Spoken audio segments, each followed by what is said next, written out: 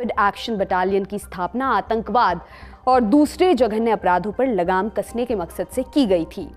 लेकिन समय के साथ इसका चाल चलन बदलता गया।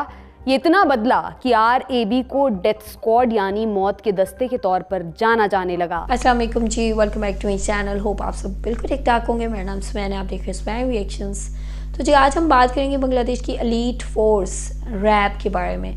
यहाँ पे रैप को जिस काम के लिए अपॉइंट किया गया था वो था स्पेशली दहशत गर्दी को ख़त्म करने का काम पीस को मेंटेन करने का काम। वेल well, यहाँ पे जब ये काम हो रहा था तो साथ ही कुछ ऐसी चीज़ें हुई हैं कि रैप का कहा गया कि रैप की जो एक्टिविटीज़ हैं वो बिल्कुल ठीक है ह्यूमन राइट्स के अगेंस्ट हैं। लाइक इंसानी हकूक़ की जो खिलाफ वर्जियाँ हैं इस रैप की जानब से हो रही हैं और अब इसी वजह से जो आ, जो पाबंदियाँ हैं रेस्ट्रिक्शंस हैं इस रैप फोर्स पे लग चुकी हैं और ये मज़ीद अपनी एक्टिविटीज़ और जो भी ऑपरेशन हैं इनके उसको जारी नहीं रख सकते कंटिन्यू नहीं कर सकते। वेल well, यहाँ पे अभी जो है जजीरा पे रिपोर्ट लगी है। साथ ही इंडियन मीडिया की जानब से इस पर बात की गई कि रैप किस तरह डेथ स्क्वाड में बदल गई है। कौन सा काम था जो पहले इनको सौंपा गया था और किस तरह ये आहिस्ता आहिस्ता पावरफुल होने की वजह से डेथ स्क्वाड बन गई, किसी को पता भी नहीं चला।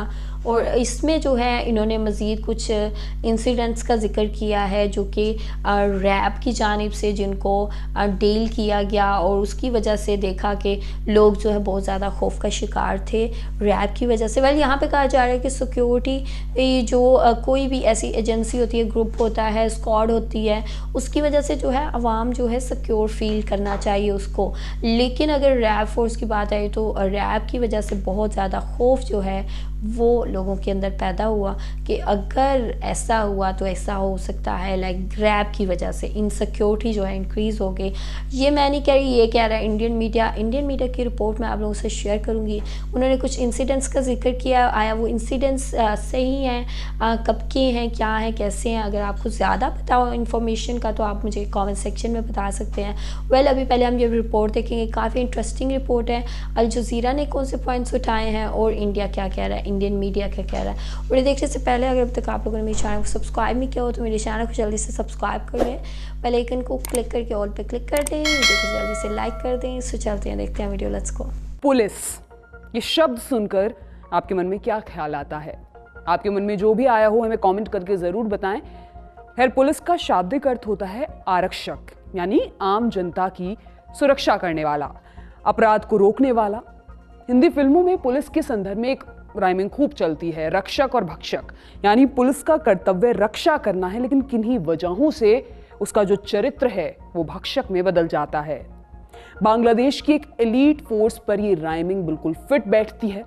2004 में बांग्लादेश में रैपिड एक्शन बटालियन की स्थापना, आतंकवाद और दूसरे जघन्य अपराधों पर लगाम कसने के मकसद से की गई थी। लेकिन समय के साथ इसका चाल चलन बदलता गया। ये इतना बदला कि आर ए बी को डेथ स्क्वाड यानी मौत के दस्ते के तौर पर जाना जाने लगा। इसके ऊपर मानवाधिकार उल्लंघन, गैरकानूनी हत्या, घूसखोरी समेत कई संगीन आरोप लगे। अमेरिका ने 2021 में इसी के आधार पर आर ए बी और उसके साथ सीनियर अधिकारियों पर प्रतिबंध लगा दिया था। अमेरिका अपने आप को बुनियादी अधिकारों का संरक्षक बताता है। इसी तरह का दावा यूरोप के उसके कई सहयोगी देश भी करते हैं। हालाँकि कई बार उनके दावों में भारी अंतर दिखाई देता है। इस अंतर की पुष्टि अल जजीरा की रिपोर्ट्स में हुई है। सात और आठ दिसंबर को अल जजीरा ने आर ए बी से जुड़ी दो इन्वेस्टिगेटिव रिपोर्ट्स पब्लिश की हैं। इसमें दस्तावेजों के हवाले से कहा गया कि पोलैंड, जर्मनी और इंग्लैंड जैसे देश आर ए बी के अधिकारियों को ट्रेनिंग दे रहे हैं। इनमें वे अधिकारी भी हैं, जिन्हें अमेरिका ने 2021 में प्रतिबंधित लोगों की लिस्ट में डाल दिया था। तो आज हम जानेंगे रैपिड एक्शन बटालियन की पूरी कहानी क्या है, आरएबी पर किस तरह के आरोप लगते रहे हैं और अल जजीरा की रिपोर्ट में क्या राज बाहर आए हैं। नमस्कार, मेरा नाम दिव्यांशी है और आप देखना शुरू कर चुके हैं ललन टॉप का अंतर्राष्ट्रीय प्रसंगों से जुड़ा रोज़ाना का कार्यक्रम, दुनियादारी।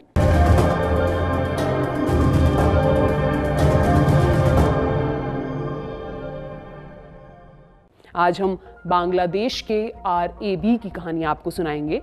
पहले तीन घटनाएँ जान लीजिए। नंबर एक 16 नवंबर 2009 को फ़ोन पर मिली टिप के आधार पर आरएबी की एक टीम मदारीपुर की तरफ़ रवाना हुई। उन्हें खबर मिली थी कि प्रतिबंधित संगठन पूर्वा बांग्लार कम्युनिस्ट पार्टी के कुछ सदस्य मीटिंग करने आ रहे हैं। आरईबी ने मौके पर पहुंचकर उन्हें घेरने की कोशिश की। वे उन्हें अरेस्ट करने के इरादे से आए थे, लेकिन वे कुछ सोच पाते उससे पहले ही उनके ऊपर गोलीबारी होने लगी। आरएबी ने जवाब दिया, इस मुठभेड़ में दो लोगों की मौत हो गई। लुत्फर रहमान खलासी और खैरुल हक खलासी दोनों भाई थे। उनके पास से तीन रिवॉल्वर एक राइफल और कुछ गोलियाँ भी बरामद हुई। मुठभेड़ के बाद आरएबी के अधिकारियों ने कहा कि उन्हें मीटिंग की जानकारी फ़ोन पर मिली थी। हम उन्हें अरेस्ट करने आए थे, लेकिन उन्होंने हमारे ऊपर गोलियाँ चलानी शुरू कर दी। हमें अपने बचाव में फायरिंग करनी पड़ी। इसमें दो लोग मारे गए। उसके बाकी साथी फरार होने में सफल रहे। यह आरएबी का वर्जन था, लेकिन उनके दावे में कई पेच भी थे। जिन दो भाइयों को मुठभेड़ में मारने का दावा किया जा रहा था, उन्हें आरईबी ने तीन दिन पहले, यानी तेरह नवंबर 2009 को उनके घर से गिरफ़्तार किया था। 14 नवंबर को उनके घर वालों ने एक प्रेस कॉन्फ्रेंस की। उन्हें ये डर था कि आरईबी हिरासत में उनकी हत्या कर सकती है।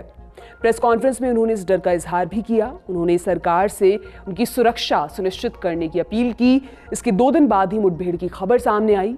आरईबी के पास कोई पुख्ता वजह नहीं थी। 17 नवंबर को हाईकोर्ट ने जवाब मांगा। कहा कि 48 घंटे के अंदर दोनों भाइयों की मौत को एक्सप्लेन कीजिए। तब आरएबी की तरफ़ से लॉ ऑफिसर अदालत में पेश हुए। उन्होंने अदालत के सामने कहा कि ऐसी कोई मुठभेड़ हुई ही नहीं। ये भी कहा कि उनका कोई अधिकारी इस तरह की घटना में शामिल नहीं था। ये मामला एक बेंच से दूसरी बेंच के बीच टलता रहा। दोषियों पर कभी कोई कार्रवाई नहीं हो पाई। घटना नंबर दो के बारे में अब हम बात करते हैं। तीन मार्च 2011 की ये बात है। बांग्लादेश की राजधानी ढाका में रसल अहमद भुट्टो दुकान के गल्ले पर बैठे हुए थे। वो दुकान उनके दोस्त की थी। दोस्त किसी काम से दूसरी जगह गया हुआ था। उसने लौटने तक दुकान का ख्याल रखने की हिदायत दी थी। जब वो लौटा तो दुकान खाली थी। भुट्टो अपनी जगह पर नहीं थे। दोस्त, इससे नाराज़ हुआ। उसको भारी कोफ्त हुई। कुछ घंटे बाद भुट्टो के घर से एक आदमी उसकी दुकान पर आया। उसने पूछा कि आपने भुट्टो को कहीं देखा है? वो आपके यहाँ आने की बात बोलकर निकले थे। ये सुनकर उस दोस्त को झटका लगा। उसने आसपास में पड़ताल की, फिर ये पता चला कि सादे लिबास में कुछ लोग उसकी दुकान पर आए थे। वे भुट्टो को अपने साथ ले गए। इस समय तक ये अंदाज़ा लग चुका था कि उनको आरईबी ने उठा लिया है। उनके घर वालों ने हर दरवाज़ा खटखटाया। भुट्टो के एक रिश्तेदार बांग्लादेश के आर्मी में काम करते थे। उन्होंने आरईबी में अपने दोस्तों से संपर्क किया। उनसे वादा लिया कि भुट्टो की हिरासत में हत्या नहीं की जाएगी। इसके हफ़्ते भर बाद भुट्टो के घर के पास एक वैन आकर रुकी। उसमें नकाब पहने एक शख्स को नीचे उतारा गया, उसे पार्क में ले जाया गया। थोड़ी देर बाद धाई की आवाज़ आई। आरएबी ने पत्रकारों को फ़ोन करके बुलाया, कहा कि एक अपराधी भागने की कोशिश कर रहा था, मुठभेड़ में उसको मार गिराया गया। जब पत्रकार वहाँ पर पहुँचे और उन्होंने पूछताछ की तो पता चला, वो लाश रसल अहमद भुट्टो की थी। भुट्टो के घर वालों ने आरोप लगाया कि आरएबी ने एक तय पैटर्न के तहत भुट्टो की हत्या की थी। उन्होंने मुठभेड़ के दावे को खारिज कर दिया। इस मामले में ना तो किसी पर कोई आरोप तय हुआ, ना ही किसी को कोई सजा ही हुई। अब आते हैं तीसरी घटना पर। 30 अप्रैल 2014 को बांग्लादेश के नारायणगंज में शीतालोका नदी के मुहाने पर हज़ारों लोग जमा थे। वहाँ डर का माहौल पसरा हुआ था। दरअसल उस रोज नदी से लाशें निकल रही थीं। पहले एक लाश दिखाई दी, फिर दूसरी, फिर तीसरी, संख्या बढ़ती गई और भीड़ के सामने ही सात लाशें पानी की सतह पर उभर आईं। सबके हाथ पीछे की तरफ़ रस्सी से बंधे हुए थे। कई लाशें इतनी सड़ चुकी थी कि उन्हें पहचानना तक मुश्किल था। मुहाने पर जमा कुछ लोगों ने कपड़ों और शरीर की बनावट के आधार पर दावा किया कि एक लाश सिटी काउंसलर नजरुल इस्लाम की है। जल्द ही बाकियों की पहचान भी पूरी हो गई। चार लोग नजरुल के सहयोगी थे। बाकी की दो लाशें चंदर कुमार सरकार नाम के एक वकील और उसके ड्राइवर की थी। लाशें मिलने के बाद भारी बवाल शुरू हुआ। नारायणगंज में लोगों ने हाईवे जाम कर दिया। बवाल बढ़ने के बाद कई स्थानीय अधिकारियों की बर्खास्तगी भी हुई। नजरुल इस्लाम और बाकी पीड़ितों के घर वालों ने इस हत्याकांड का आरोप आरएबी पर लगाया। उनका कहना था कि नजरुल के विरोधियों ने आरएबी के अधिकारियों को पैसे खिलाकर उनकी हत्या करवाई। ये मामला अदालत में पहुँचा। पैंतीस लोगों पर आरोप तय किए गए। इसमें आरईबी के कई सीनियर अधिकारी और स्थानीय नेता शामिल थे। जनवरी 2017 में नारायणगंज की जिला अदालत ने 26 दोषियों को मौत की सजा, जबकि 9 को जेल की सजा सुनाई। अदालत ने पाया कि इस हत्याकांड के लिए आरएबी के अधिकारियों ने लगभग छः करोड़ टका लिए थे नजरुल इस्लाम और उनके चार सहयोगियों को उनके घर से किडनैप किया गया था। वकील चंदन सरकार उसी समय उस रास्ते से गुजर रहे थे। उन्होंने चिल्लाकर लोगों को बुलाने की कोशिश की, लेकिन कोई नहीं आया। आरएबी कोई सबूत या गवाह नहीं छोड़ना चाहती थी। उसने सरकार के साथ साथ उनके ड्राइवर को भी उठा लिया। बाद में सातों की हत्या कर दी गई और लाशों को नदी में डंप करने की कोशिश की गई। अदालत ने अपने फैसले में लिखा कि इस हत्याकांड ने देश को सदमे में डाल दिया है। नारायणगंज जिला अदालत द्वारा दी गई सजा के खिलाफ ढाका हाईकोर्ट में अपील की गई। अगस्त 2017 में हाईकोर्ट ने 15 लोगों की मौत की सजा बरकरार रखी, बाकी 11 की मौत की सजा को आजीवन कारावास में बदल दिया गया था। इस फैसले के बाद अमेरिका ने बांग्लादेश सरकार से आरएबी को भंग करने की मांग की थी। बांग्लादेश ने इससे इनकार कर दिया। उसने कहा कि आरएबी में कुछ बुरे लोग हैं। हम उनको हटाने की योजना पर काम कर रहे हैं। बांग्लादेश की प्रधानमंत्री शेख हसीना ने यहाँ तक कहा कि लोग तो अमेरिका और ब्रिटेन में भी गायब होते हैं। हमारा रिकॉर्ड उनसे बेहतर है। लेकिन क्या आरएबी में गिनती के ही बुरे लोग हैं? आंकड़े इस दावे को गलत ठहराते हैं। बांग्लादेश में गुमशुदा किए गए लोगों और गैर न्यायिक हत्या के पीड़ितों के सगे संबंधियों की मदद के लिए एक संगठन बना है अधिकार मंच। इनकी एक रिपोर्ट के अनुसार 2004 से 2020 के बीच आरईबी एक हज़ार से अधिक हत्याओं में शामिल रही है। 2009 से 2019 के बीच 500 से अधिक लोगों को गायब किया जा चुका है। आरईबी पर हिरासत में टॉर्चर के भी आरोप लगते हैं। इस लिस्ट में कई विपक्षी नेता, पत्रकार, सामाजिक कार्यकर्ता और दूसरे लोग शामिल हैं। आरएबी को सरकार का पूरा संरक्षण मिला हुआ है। वो अपराध के खिलाफ जंग लड़ने के नाम पर कुछ भी करने के लिए आज़ाद हैं। इसका सबसे बड़ा सबूत इस बात से मिलता है कि आरएबी, खालिदा, जिया और शेख हसीना दोनों की सरकारों में फलती फूलती रही है। अब आपको आरएबी का इतिहास बताते हैं। आरएबी की स्थापना 2004 में हुई थी।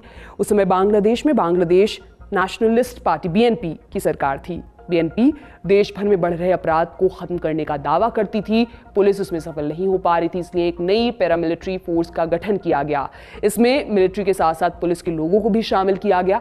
आरएबी को असीमित शक्तियाँ दी गईं। आरएबी ने शुरुआती ये रिपोर्ट आप लोगों ने देखी है। रैप बटालियन के हवाले से पूरी की पूरी काफ़ी एक ठीक है, अच्छी स्टोरी थी। लाइक इससे मुझे काफ़ी चीज़ें हैं जो कि समझने को मिली हैं। लेकिन रैप की जानब से जो कार्रवाइयाँ की जाती हैं, इस पर रैप इट्स जो भी कार्य होती है, वो अपनी मर्ज़ी से नहीं कार्य होती। बल्कि यहाँ पे रैप को यूज़ किया जाता है गवर्नमेंट्स की जानब से। लाइक like, अभी जो है बीएनपी की हुकूमत है और इसका इस्तेमाल जो है रैप का इस्तेमाल जो है वो अवामी लीग के ख़िलाफ़ जो है किया जाता है। वेल इससे पहले जो है खालदा ज़िया के दौर में खालदा ज़िया की गवर्नमेंट में इसका इस्तेमाल किया जाता था। बीएनपी के ख़िलाफ़ अपोजिशन पार्टीज़ के ख़िलाफ़ जो है यहाँ पे इसको इस्तेमाल किया जाता है और वो इट्सल्फ कोई इंडिपेंडेंट नहीं है। लाइक अगर वो इंडिपेंडेंट होती उनको अच्छी और सही का पता होता तो इस टाइप की चीज़ें नहीं करती। वेल यहाँ पे मुझे काफ़ी चीज़ें समझने को मिली हैं। लाइक अमेरिका की जानब से जो रेस्ट्रिक्शंस लगाई गई हैं, वो किसी वजह से लगाई गई हैं? वेल यहाँ पे मैं अमेरिका की रेस्ट्रिक्शंस को इतना जो है अडोर भी नहीं करती, क्योंकि बहुत सी जगहों पे अमेरिका जो है अपने मफाद की वजह से भी रेस्ट्रिक्शंस लगाता है। वेल यहाँ पे इन्होंने जो स्टोरी सुनाई है, जो स्टोरीज़ बताई हैं रैप के हवाले से, किस तरह डेथ स्कॉड में बदल गई उसके बाद जो है उन पर पाबंदियाँ लगी। इंसानी हकूक़ की खिलाफ वर्जी करने की वजह से। तो इसके बारे में आप जो भी कहना चाहते हैं, आप लोगों के पास जो भी इन्फॉर्मेशन आप लोग लाजमी शेयर करें। आप लोगों का क्या कहना है? लाजमी बताना है कॉमेंट सेक्शन में वीडियो को आप लोगों ने लाजमी लाइक करना है। लाइक के बड़े सामने, उसे जल्दी से क्लिक कर दें। वीडियो को लाजमी शेयर करना है अपने फ्रेंड्स और फैमिली के साथ। मेरे चैनल को सब्सक्राइब नहीं किया हो तो मेरे चैनल को जल्दी से सब्सक्राइब कर लें। बेल को क्लिक करके ऑल पे क्लिक कर दें ताकि जब भी वीडियो अपलोड करूँ, आप लोगों को लास्ट में नोटिफिकेशन मिले। अगर आप लोग मुझे फॉलो करना चाहते हैं तो आप मुझे इंस्टाग्राम और फेसबुक का पेज है, वहाँ पर जाकर मुझे फॉलो कर सकते हैं। विस यू गाइस टिल केयर